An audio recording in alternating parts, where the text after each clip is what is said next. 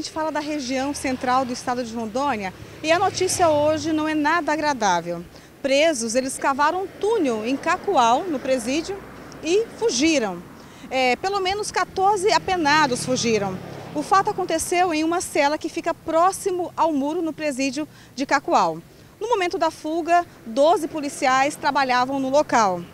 É, a delegacia, ou seja, o presídio, está sendo investigado pela Polícia Militar para ver o que realmente aconteceu. Após as buscas, foram capturados, recapturados sete apenados. Então a polícia está ainda trabalhando, né, estão sendo procurados sobre essa informação na região de Cacoal. É um fato que aconteceu na madrugada desta quarta-feira.